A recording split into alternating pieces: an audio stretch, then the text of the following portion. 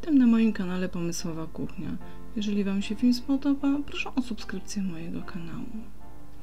Dzisiaj przygotuję sałatkę z gotowanego pęczaku oraz selera naciowego, papryki i awokado.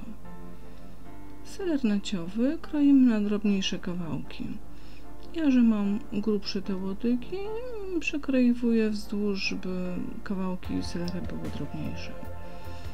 Należy pamiętać, że seler jest moczopędny, więc nie należy przesadzać z dużą ilością y, jako dodatku do sałatki z selerem naciowym. Następnie kroję paprykę. Papryka może być dowolnego koloru.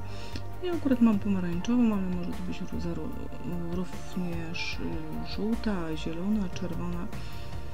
Obojętnie jaką mamy pod ręką. Możemy użyć paprykę. Gdy paprykę już pokroimy, następnie dodaję wędzonego kurczaka. Ja akurat tutaj mam filet wędzonego kurczaka. Kroję na drobniejsze kawałki. Dobrze jak jest filet przestudzony, taki chłodny. Lepiej się go wtedy kroi. I smaczniejszy jest w sałatce. Jeżeli nie mamy fileta wędzonego, możemy to użyć udka wędzone, ale jednak zdecydowanie smaczniejsza sałatka jest z kurczakiem wędzonym, y, filetem. Tu akurat kroję pomidory suszone, które były w oliwie z ziołami. Olej zostawię sobie, gdyż później doleję do naszej sałatki, żeby wymieszać, ponieważ to jest sałatka bez majonezu, żeby nam olej troszeczkę złączył te składniki. Następnie odbiera, obieram awokado. Gdzie mi akurat ładnie skórka z awokado schodzi. Kroję na drobniejsze kawałki. Należy pamiętać, że awokado zawsze należy skropić z cytryną, sokiem z cytryny.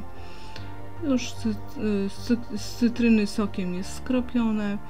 Dodaję do miski. Następnie kroję szczypiorek wraz z cebulką. Dodaję do naszej sałatki. Wszystko razem wymieszam. Doprawię przyprawami. Do smaku oczywiście. Jeszcze dodaję mm, olej, który pozostał z pomidorów. Dodaję odrobinę oregano, ziół prowansalskich, sól, pieprz, wszystko razem mieszam. Sałatka gotowa. Smacznego!